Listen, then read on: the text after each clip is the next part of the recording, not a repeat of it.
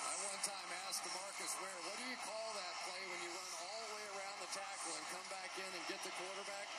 He said, I call it a sack. And that's exactly what it was. Here he comes from behind, and great players don't settle for the tackle or the sack. They want the football, and Ware knew exactly what he was doing. Look at that hand.